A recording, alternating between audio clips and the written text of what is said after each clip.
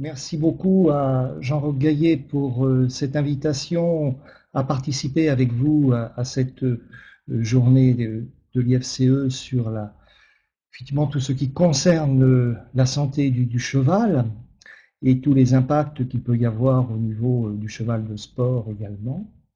Et on va prendre un, petit temps ensemble pour positionner le concept de santé de façon plus large, peut-être que ce que l'on a l'habitude de traiter chaque jour euh, à travers euh, le lien qui, que nous pouvons avoir entre nous et un animal ou entre nous et notre cheval, euh, pour pouvoir aborder santé animale, santé humaine, santé environnementale, le lien qu'il y a entre tout cela et également l'impact pour les maladies infectieuses. Le concept, comme a été présenté par Cécile tout à l'heure, effectivement, un monde, une santé, qu'on appelle souvent One Health, euh, souligne deux points. Nous sommes tous, avec les animaux, avec notre environnement, sur une Terre qui est définie, circonscrite, non extensible, avec des ressources non inépuisables.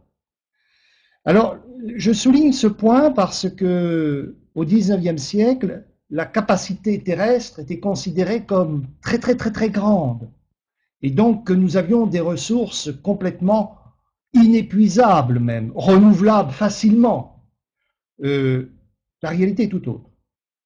La Terre est définie et donc ces ressources sont fondamentalement épuisables et nous pouvons le voir avec un certain nombre d'indicateurs aujourd'hui l'acmé de la production euh, de pétrole, par exemple, qui, était, qui est passé en 2008, etc. Euh, je vais pas revenir là-dessus, mais euh, dans le concept un monde, une santé, il y a cela à la racine avant tout. Et donc, si on regarde le lien avec les maladies infectieuses, eh bien, les maladies infectieuses peuvent se définir comme un déséquilibre, avant tout. Un déséquilibre qui peut être global ou individuel. Global, parce que, effectivement, nous le vivons à travers euh, la crise Covid-19, c'est fondamentalement une perturbation euh, de, globale d'un environnement donné à un endroit qui est propulsé sur toute la planète avec les moyens de transport. Donc il y a eu un déséquilibre qui s'est fait. Et puis bien sûr, au niveau individuel, certains individus résistent, d'autres ne résistent pas. Alors, pour pouvoir bien aborder ce concept en lien avec les maladies infectieuses, il faut que nous puissions euh, réfléchir un petit peu dans quel monde nous sommes. Alors, je vous ai pris cette photo que j'avais prise il y a quelque temps, du temps où on pouvait voyager, euh, parce qu'elle symbolise trois choses. La première, c'est que l'eau est fondamentalement importante sur Terre et, certainement des enjeux de demain, on le verra tout à l'heure un petit peu, euh, qui est crucial, y compris pour les maladies infectieuses, puisque c'est un vecteur de maladies infectieuses.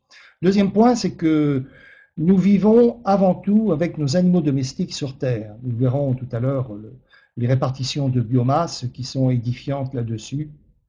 Et c'est un grand partage. Et nous sommes dans un monde de partage. Et c'est dans ce partage qu'il doit y avoir équilibre. S'il y a des équilibres, effectivement, il y a maladie. Alors, je vous représente ici les répartitions de biomasse qui existent sur la surface de la planète. Bien sûr, nous sommes dans un monde dominé par les plantes, avec une grande partie des biomasses, mais vous pouvez voir quand même la biomasse virale qui dépasse d'un facteur 2 pratiquement la biomasse animale. Hein. Euh, et puis la biomasse des bactéries qui est considérable sur Terre, la biomasse des protistes qui est relativement, pratiquement identique à la biomasse des, des animaux. Les protistes sont les unicellulaires, des organismes unicellulaires, euh, qui est pratiquement équivalent à la biomasse des animaux. Et si on regarde la biomasse des animaux, alors là, vous avez une grande dominante qui sont les arthropodes. Un secteur qui n'est pas du tout négligeable parce qu'il a un impact sur le sol considérable, qui sont les nématodes, avec un nombre d'espèces pratiquement équivalent euh, dans le monde des nématodes et des arthropodes, sauf qu'il y a un facteur 10 au niveau taille en général. Et vous pouvez voir que les nématodes ont une biomasse qui est supérieure pratiquement à toute la biomasse des animaux sauvages aujourd'hui, d'un facteur 10. Il y a 10 fois plus de nématodes que d'animaux sauvages vertébrés, s'entend. Et puis vous voyez l'énorme bloc de, de notre troupeau, de nos animaux domestiques, qui dépasse euh, en fait la biomasse humaine. Et je prends une illustration de, de, Serge Morand, qu'il a fait dans un de ses précédents ouvrages, où il répartit effectivement la biomasse du bétail que vous avez ici par rapport à la biomasse humaine, et puis la biomasse des cochons, des moutons, des vertébrés sauvages qui est réduit à l'équivalent du nombre de chevaux sur Terre. Donc tout ça, c'est au niveau terrestre. Et vous voyez que donc la biomasse des chevaux reste encore supérieure à celle des éléphants, mais elle est équivalente, hein, c'est un, un, indicateur intéressant, équivalente à celle des vertébrés sauvages. Donc euh, vous voyez qu'il y a aussi, en parallèle à l'augmentation de la population humaine, passée de 1960 à 2016 de 3 à 7 pratiquement, vous voyez qu'il y a une augmentation également du bétail. Alors, vous commencez à comprendre l'équation dès lors que notre Terre est définie, euh, cette courbe, elle ne va pas pouvoir continuer longtemps comme cela, parce que l'équation devient insoluble. Et ça fait partie des premiers déséquilibres qui s'annoncent, tout compte fait. Alors, le deuxième point important dans les maladies infectieuses, dès lors qu'on est sur la Terre tous ensemble, avec nos animaux, vous avez vu lesquels, euh, c'est le brassage. Alors le brassage, il y en a des naturels, bien sûr.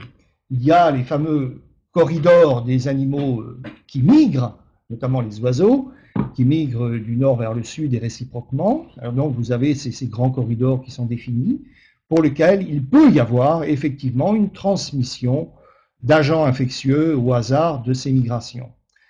Et puis, il y a aussi quand même les, grandes, les grands brassages par les flux humains de marchandises, et vous avez les grandes flèches. J'ai pris un exemple éloigné 2003 pour euh, vous illustrer cela, et combien ça s'est manifesté, par exemple, en Afrique, avec l'impact sur euh, la transmission euh, d'un influenza aviaire en 2007, et donc qui était directement lié au transport de volailles venant d'Asie effectivement, et ce n'était pas les corridors aériens qui étaient à l'origine. Donc on voit que les, brassages existent. Alors y a-t-il augmentation? C'est une question qu'on peut se poser.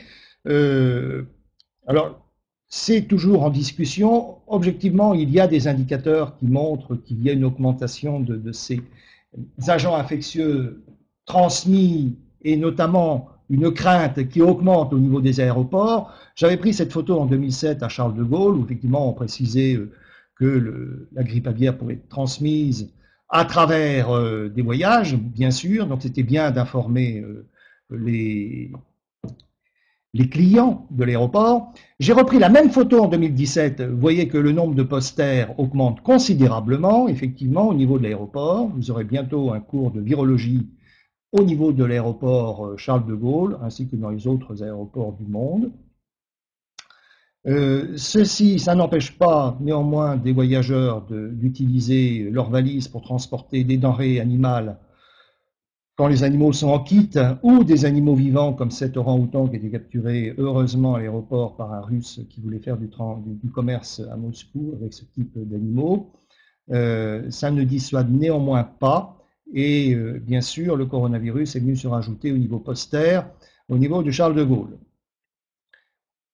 Alors, au-delà des transports aériens, n'oubliez pas qu'il y a les transports maritimes qui jouent un rôle considérable dans les maladies infectieuses et leur transmission. On y reviendra un tout petit peu avec euh, les moustiques notamment.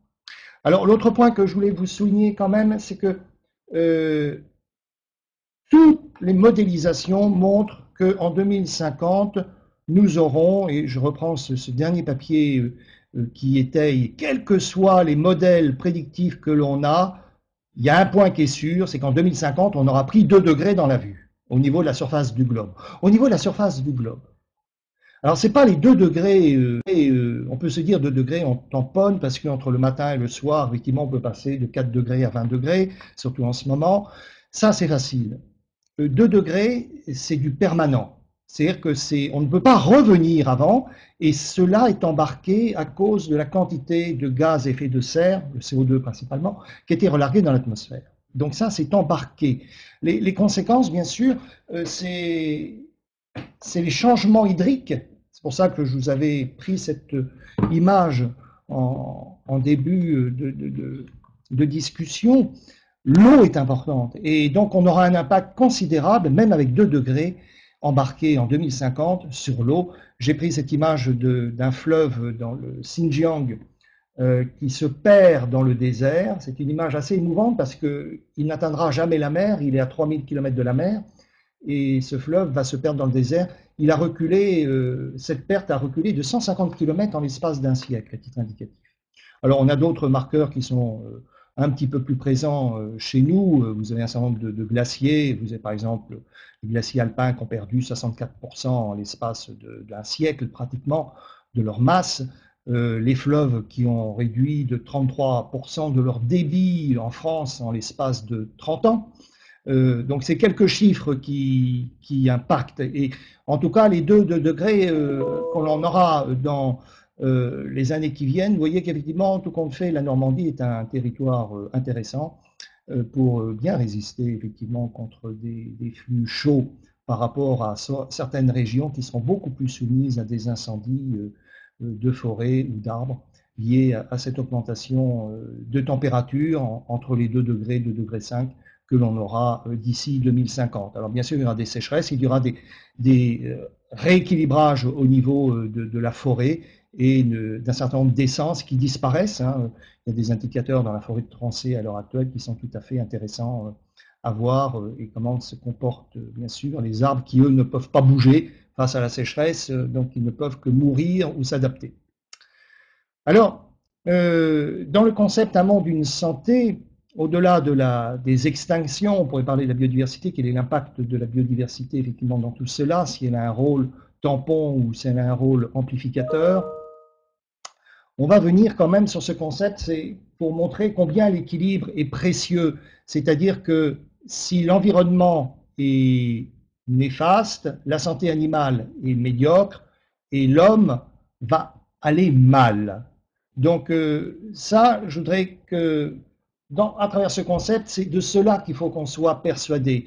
Mais il y a la réciproque que je n'aurai pas le temps de développer, c'est-à-dire que si on améliore l'environnement, si on améliore la santé animale, eh ben, l'homme va mieux. Et donc on a des magnifiques exemples là-dessus que je ne vais pas pouvoir développer euh, aujourd'hui. Donc euh, je vais vous prendre cet exemple en partant de ce que fait l'artiste et qui sent euh, cet impact sous une autre forme. Donc Louise Zerbini en, 2011 montrait l'impact de l'homme sur la forêt tropicale et on verra quel est cet impact au niveau des maladies infectieuses. Il, y a une profonde dégradation effectivement, même si au premier abord on ne voit pas, on voit les, végétaux, mais derrière on voit l'activité humaine. Pensez que toute maladie infectieuse qui est un déséquilibre est liée uniquement à l'activité humaine, quelle qu'elle soit. Alors, euh, je vais vous prendre un exemple de perturbation de l'environnement et d'impact sur la santé animale. Alors, j'aurais pu prendre l'exemple des antibiotiques, mais vous le connaissez à travers le concept un monde, un monde une santé. Vous savez que il n'est pas bon d'utiliser des antibiotiques n'importe comment, euh, parce que c'est un bien précieux, c'est un bien pour l'humanité. Euh, et que si on le gaspille, eh bien, on aura un effet ricochet, on recevra le boomerang dans la figure. Je vais vous parler des anti-inflammatoires et d'un anti-inflammatoire euh, qui est le diclofénac. Alors, quand vous arriviez à New Delhi en 90, vous aviez la chance de pouvoir voir des balais de vautours. Alors, les balais de vautours sont typiques parce que ces animaux, je dirais, repèrent en groupe leur proie morte pour pouvoir nettoyer le tarmac. Alors, dans les années 90, en parallèle, on a utilisé cette molécule, le diclofénac, Voltaren, pour ceux qui ont déjà utilisé euh, cette molécule, euh, qui est un hypertoxique pour les oiseaux. Les oiseaux euh, ont leur rein détruit avec quelques microdoses de résidus de diclofénac. Or, on a traité les, bovins au diclofénac, les bovins boiteux. Les bovins ne sont pas forcément consommés en Inde, mais ils sont utilisés pour le travail. Les animaux domestiques servent pour le travail avant tout. Donc, euh, cette molécule a été utilisée chez les bovins boiteux pour qu'ils travaillent. Malheureusement, quand ils meurent, ils sont consommés par les vautours. En l'espace de 10 ans, la population de vautours était pratiquement exterminée en Inde. Alors, on pourrait me dire, euh, bah oui, ça fait une espèce de moins. Oui, ça fait une espèce de moins, mais qui gère les cadavres? Les cadavres, ils sont gérés par euh, la nature hors du vide, hein, donc euh, sont gérés par les carnivores. Alors, les carnivores, bien nourris, ont leur prolificité accrue, ça vous le savez. Et donc, de ce fait, on a eu plus de carnivores, on a eu une augmentation de carnivores, qui s'est soldé par plus de 35% de chiens errants. Et bien sûr, la contrepartie, c'est que la rage a réémergé de façon massive, parce que plus il y a de, chiens errants, c'est une calamité. Hein. Les chiens errants, on a beaucoup d'exemples dans le monde, malheureusement, où c'est terrible. C'est un animal domestique, ça fait partie des premiers animaux domestiques, et si on le remet dans la nature, c'est terrible. C'est complètement... Euh, euh, on, crée un, un animal hybride qui ne sait plus où il va. Bilan d'affaires, 40 000 personnes sont mortes juste à cause de l'utilisation d'une molécule pour traiter les boiteries chez les bovins en Inde. Cette molécule est interdite depuis 2004 en Inde. 40 000 personnes, essentiellement des enfants, morts dans des souffrances atroces. Alors je peux vous dire que, évidemment, ça se termine par un carnage en général, parce que les parents ont perdu leur enfant euh, c'est effectivement euh, au fusil que l'on va régler le compte de la troupe de chiens. Alors, vous voyez, les, je dirais combien on passe dans le déséquilibre très très vite. Alors, on pourrait illustrer à travers les maladies infectieuses de la même façon. Donc, vous avez vu l'impact en ricochet sur une maladie infectieuse qui est la rage. Euh, alors, juste pour vous illustrer sur le nombre d'épidémies que l'on a, on a une légère accélération depuis quelque temps qui est lié à l'augmentation de la puissance de, brassage aussi. Juste pour vous dire que la différence de vision entre l'Asie et l'Europe est tout à fait significative sur le nombre d'épidémies. Quand vous interrogez des Français à droite à gauche euh, ou des Européens, on dit combien d'épidémies avons-nous, tout compte fait, vécu au cours des deux dernières euh, milliers d'années? Eh bien, Je peux vous dire qu'en général, j'ai des réponses entre 10 et 100. Euh, quand j'interroge un collègue en Chine, et notamment euh, ce collègue de, Wuhan, euh, je lui dis, ah, combien on a eu d'épidémies en Chine infectieuses? Et là, il me répond, et j'étais scotché, effectivement, 826 épidémies avant 1840. Donc, euh, ça rentre dans, une, dans le, profond du chinois, c'est-à-dire de vivre avec ces maladies infectieuses que nous, on a complètement oublié depuis que l'hygiène a tout couvert en France en apparence. Je dis en apparence, puisque, effectivement, la Covid-19, virus transmis à 2 mètres de distance, sévit grandement quand même en Europe. Mais il portait des masques dès le début en Asie. Alors, si on regarde le, concept euh, un monde, une santé vis-à-vis des maladies infectieuses avec les perturbations environnementales, on peut se focaliser sur l'impact sur la forêt. Alors, je vous prendre un autre exemple euh, qui est là aussi le, euh, l'artiste l'a illustré parce que l'artiste le voit aussi, euh, ce déséquilibre et l'impact qu'il va y avoir sur la santé humaine. Et donc, euh, Louis Nilsson Pimenta, effectivement, travaillant sur la déforestation en Malaisie, montre ces migrations, humanise la forêt et annonce un désordre. Alors, je prendrai cet exemple de l'émergence du virus Nipah sur les troupeaux de porcs en, en 99 avec le phénomène El Niño préparatoire qui, en fait, euh, qui résulte de l'augmentation de la température de l'océan Pacifique de 0,1 degré à 0,2 degré. Hein. C'est tout petit, petit, tout petit, hein. toute petite perturbation. Hein. Euh, mais néanmoins, il y a eu un phénomène d'El Niño dramatique en Malaisie qui a asséché pendant euh, plusieurs mois l'hémisphère sud, un petit peu comme récemment en Australie, vous avez pu le voir il y a deux ans il y a eu une destruction massive de forêts qui était concomitante aussi avec des feux de forêt pour réduire la surface de forêt tropicale en Malaisie, pour pouvoir mettre des plantations d'arbres fruitiers, également euh, des porcheries. Ça, on fait d'une pierre deux coups. Quand il y a des feux, les animaux courent. Ceux qui volent peuvent échapper beaucoup plus facilement au feu quand même. Donc, et notamment ces grandes chauves-souris frugivores. Et elles ont trouvé gîte et couvert auprès de porcheries construites en bambou les madriers de bambou sont des super gîtes à chauves-souris. Et à côté des, porcheries, on avait mis des arbres fruitiers, donc gîtes et couverts. Elles ont déféqué sur le nez des cochons et elles ont transmis un virus aux cochons qui n'était pas transmissible directement à l'homme, mais le cochon a permis de faire l'intermédiaire entre ces chauves-souris et l'homme pour ce virus. C'est le virus Nipah.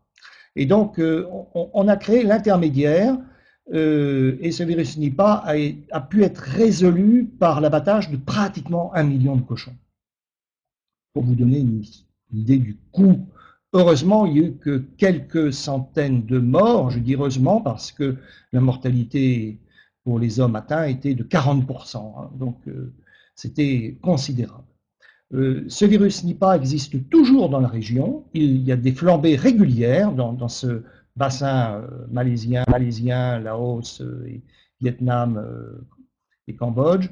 Et donc, vous pouvez toujours avoir malheureusement des épisodes réguliers qui, réémergent, qui sont toujours liés euh, à cela. Alors, je rends hommage parce que, finalement, vous avez un lien entre la Covid-19 et ce virus Nipah d'un certain côté, qui ont une racine auprès des, chauves-souris, à Li Wenliang, qui était le lanceur euh, de l'information primaire de l'émergence de cette pathologie, et Zhong Danshan, qui a découvert euh, le virus du SARS-CoV un, le premier coronavirus, et qui ont beaucoup œuvré tous les deux dans, cette crise.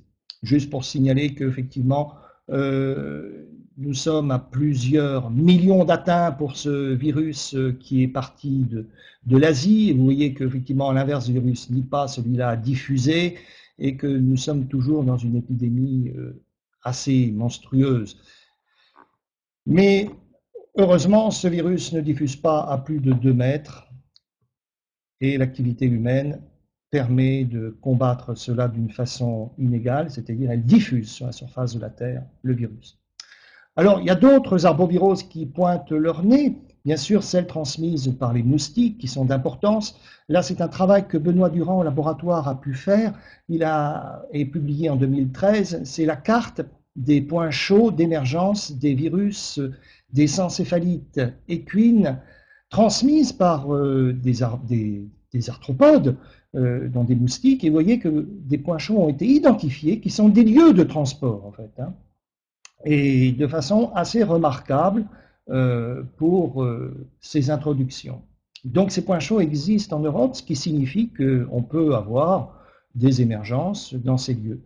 pensez que dans ce gros point chaud a émergé quand même d'autres agents infectieux transmis par des arthropodes, le virus a fait catarrhalovine, qui a coûté 1 milliard à l'État français entre 2006 et 2009, le virus Schmallenberg, qui heureusement n'a touché, touché, encore que les ruminants, qui est parti de 2011, exactement de ce point chaud. Donc euh, ce point chaud a une certaine réalité. Euh, juste pour vous signaler que la dengue transmise par les moustiques était multipliée par 30 euh, depuis quelques années. Euh, que le moustique euh, vecteur est largement implanté depuis 2011 partout en Amérique latine.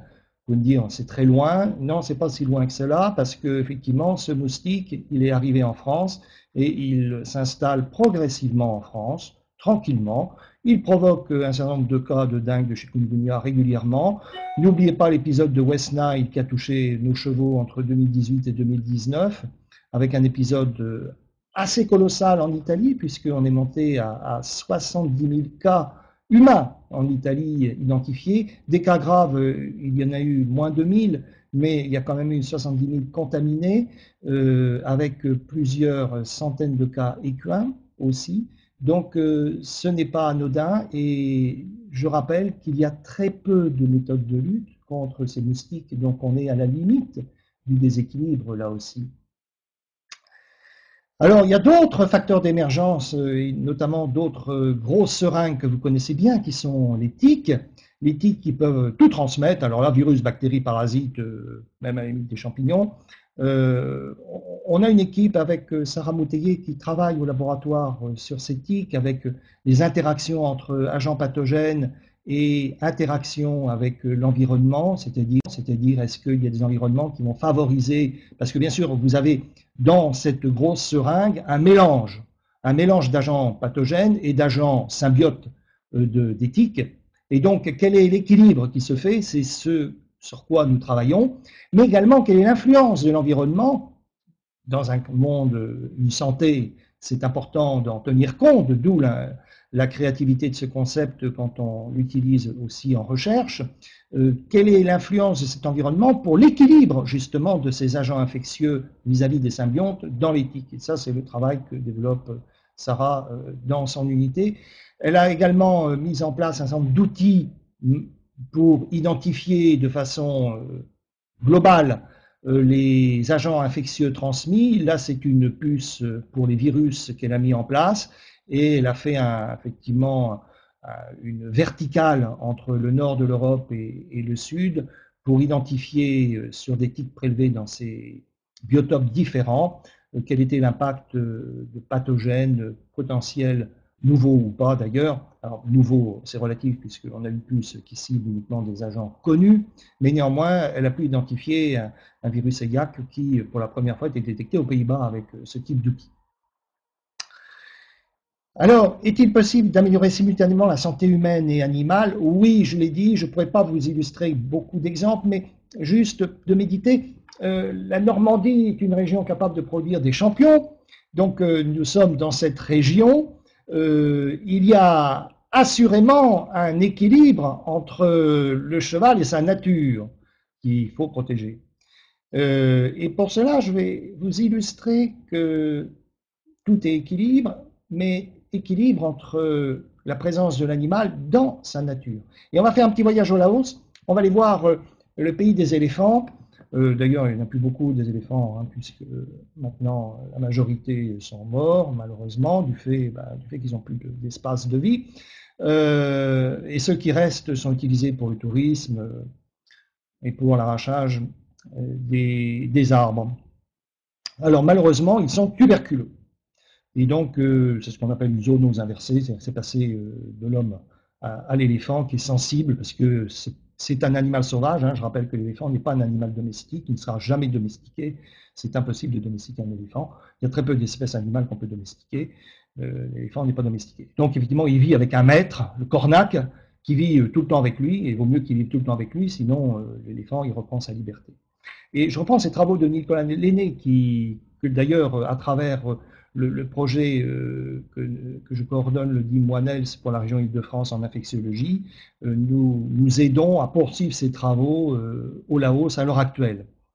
il y a une observation de rite de vie et de rythme de vie entre le cornac et l'éléphant.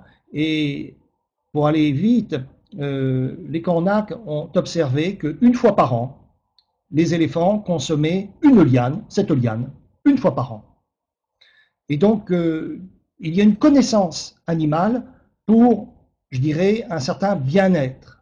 Et donc, euh, alors l'impact, euh, je dirais, pour, de, cette liane, un antiparasitaire a été identifié, ou une activité antiparasitaire plutôt a été identifiée. Est-ce cela C'est pas encore complètement clair. Hein. mais en tout cas, il y a un rituel, il y a une connaissance des éléphants. Alors si on passe dans le monde des, primates, hein, Sabrina Krief a, développé beaucoup de travaux là-dessus, il y a plus d'une centaine de plantes qui sont utilisées, euh, euh, par les primates, du paracétamol à l'antimalaria, euh, sous forme de plantes. Hein. donc ça signifie aussi qu'un cheval en bonne santé, c'est un microbisme maîtrisé, c'est également l'accès de l'animal à l'environnement et à sa pharmacopée pharmacopée naturelle, c'est-à-dire à ces plantes naturelles. Et certainement qu'il y a vraiment à connaître cela de façon sûre. Juste pour vous dire que les maladies infectieuses animales en France, vous pouvez me dire, monde a beaucoup voyagé, mais euh, ce qui nous intéresse, c'est plus la France. Euh, je rappelle que la grande majorité des maladies animales ne viennent pas du soleil levant, que vous avez toute cette liste euh, tuberculose, fièvre cataralovine, virus Schmallenberg, West Nile, Best notiose, qui sont en émergence ou en réémergence, ça dépend lesquels. Euh, on vivra avec la fièvre cataralovine. Le virus Schmallenberg doit encore subsister dans certains endroits. Le virus West Nile, c'est des émergences régulières. La notiose est en pleine extension à l'heure actuelle. Aussi, pour terminer, nous allons réfléchir que les maladies infectieuses pour l'homme sont responsables de 25% de la mortalité à la surface du globe avant la Covid-19. Ça, c'est des chiffres que je prends la Covid-19. Euh, la mortalité par maladie cardiovasculaire, c'est 31%. Et pour toutes ces maladies, euh, euh, cancer, maladie cardiovasculaire, nous avons eu 1500 nouvelles molécules depuis 1970. C'est très très bien pour traiter toutes ces pathologies gravissimes. Par contre, nous n'avons que 40 nouvelles molécules pour lutter contre les maladies infectieuses. Trouver l'équilibre. Nous sommes inévitablement en déséquilibre complet. Donc il ne faut pas s'étonner si après on n'a pas d'anticoronavirus. Il hein. ne faut pas s'en étonner. Ne faut pas s'étonner non plus s'il y a de l'antibiorésistance. C'est qu'on a un arsenal qui est très très limité. On a un arsenal contre les maladies infectieuses qui est tout petit. Et donc, il doit être utilisé avec conscience et économie. Donc les défis, euh, les maladies infectieuses, vous avez vu, représentent pour les maladies vectorielles 16% de la charge mondiale. Les émergences existent sur tous les continents. Euh, quelque part, je dirais, la maladie infectieuse, c'est comme cette tempête euh, que Sébastien Junger a, reproduit dans un roman où effectivement il y a de temps en temps une conjonction de vent, de tornades et d'ouragans et d'orages, ce qui fait qu'on a une vague gigantesque de 100 mètres de haut qui se crée dans l'océan et qui engloutit le bateau de pêche. Et en fait, la maladie infectieuse qui devient épidémique, comme la Covid-19 ou épizootique, c'est exactement cela. C'est une conjonction de facteurs qui sont déséquilibrés et qui s'amplifient mutuellement. Et donc, on a à la fin une énorme vague, un énorme tsunami. Donc, euh, vous avez vu que les changements globaux sont directement liés à l'activité humaine, et donc, tout compte fait, les émergences des maladies infectieuses, il y a un agent infectieux, mais derrière cela, il y a d'abord l'activité humaine. Donc, c'est à nous à résoudre par nous-mêmes le problème des maladies infectieuses. Merci beaucoup à tous. Merci beaucoup Pascal pour cette introduction passionnante. Alors je, vais donner la parole directement à mes collègues de l'IFCE pour vous poser des questions pendant un quart d'heure qui sont issues du chat, donc n'hésitez pas à, les poser dans le chat. je vous donne la parole. Donc on a une première question vous faites l'hypothèse de plus de degrés, on s'achemine vers plus 4 degrés Celsius. Quelles conséquences? Ah, alors, euh, non, 2 degrés, euh, les conséquences avec plus 2 degrés, et là c'est embarqué à cause de ce que l'on a déjà produit en CO2 dans l'atmosphère. Le CO2 est un gaz hyper stable, hein, qui n'est absolument pas détruit à l'échelle de l'humanité. Il faut plus de 10 000 ans pour réduire le, le taux de CO2. Donc, euh, on oublie euh, les, captures de CO2, c'est terminé, on ne pourra pas, c'est embarqué pour 2050 à 2 degrés. 2 degrés, il n'y a plus de plancton. Euh, il n'y a plus de, pardon, il y a plus de, coraux, pardon. Les coraux disparaissent à 2 degrés de plus. À 4 degrés, je n'ose pas imaginer, parce que 4 degrés, je rappelle qu'entre la dernière glaciation et aujourd'hui, il y a eu 5 degrés de différence. Donc, euh, je vous laisse imaginer 4 degrés, c'est un désastre là. Donc, il ne faut pas aller au, 4 degrés. Hein. Le but, c'est de, à tout prix de changer maintenant pour éviter que ça continue à accroître au-delà de 2050. Là, effectivement, oui, il y a un enjeu qui est, majeur. Hein.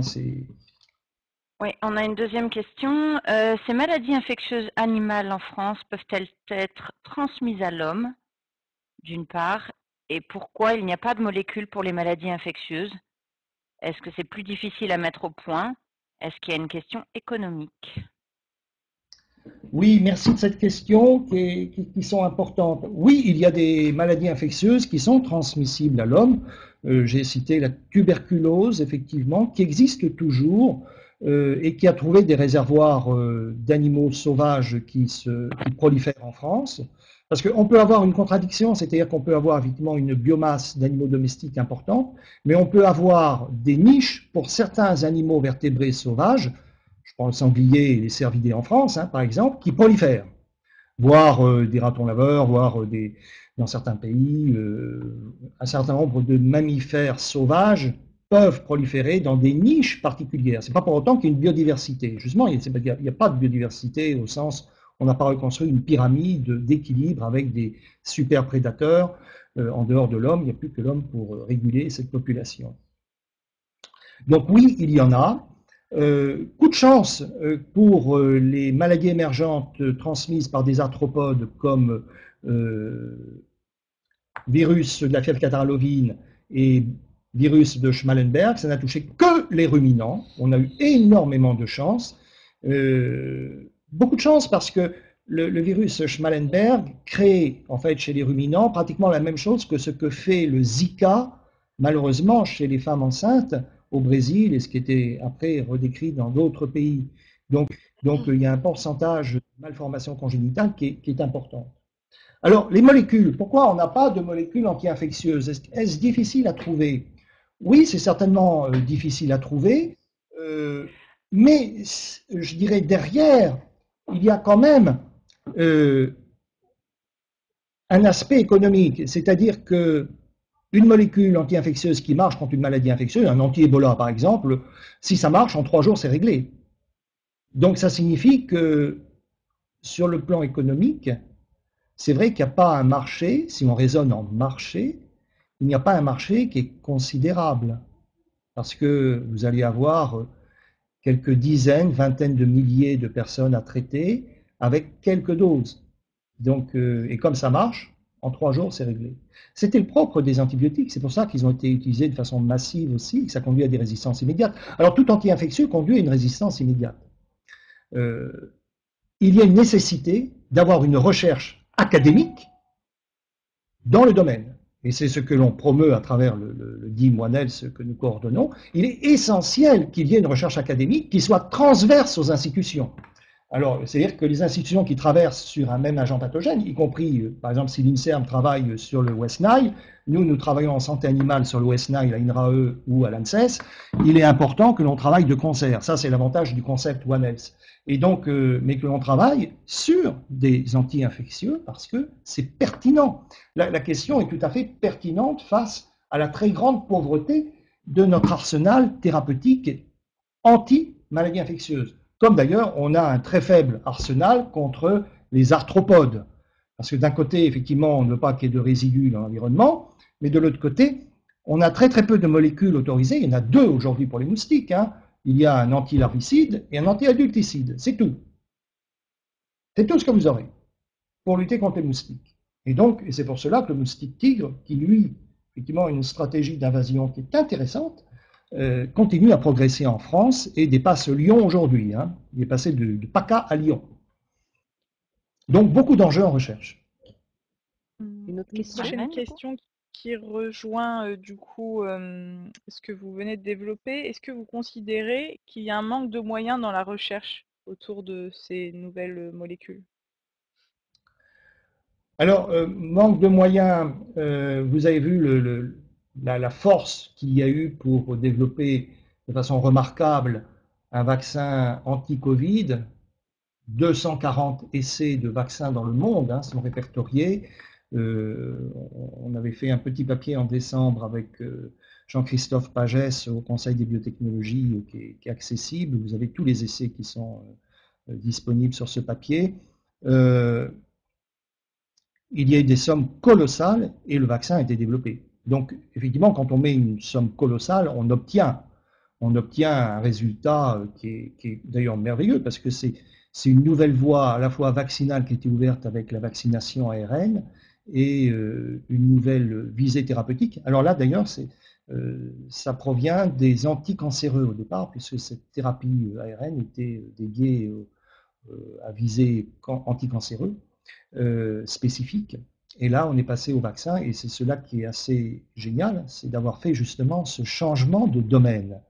Et, ça, c'est une belle recherche. C'est vraiment une belle recherche, c'est d'avoir cette capacité à, étendre le pont euh, entre domaines, et non pas se limiter de façon en creusant le sillon dans sa spécialité euh, à extrême, mais à pouvoir avoir un regard plus périphérique.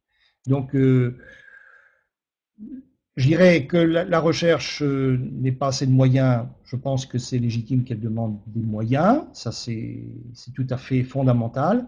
Et aujourd'hui, c'est vrai que sur les anti-infectieux, il y a certainement besoin de plus de moyens. Et euh, à titre indicatif, à nouveau, le, projet que, nous coordonnons pour la région de France sur les anti-infectieux euh, montre l'énorme besoin euh, confirme l'énorme besoin et mm, là aussi on fait ce que l'on peut avec euh, l'enveloppe qui est déjà conséquente hein, que nous donne euh, la région Île-de-France, mais qui, est un soutien indispensable. On a encore le temps pour une ou deux questions? Oui, avec plusieurs questions qui, qui, se rejoignent. Celle de Sandy Jarrier qui demande êtes-vous plutôt optimiste sur la capacité de l'homme à faire face aux enjeux présentés?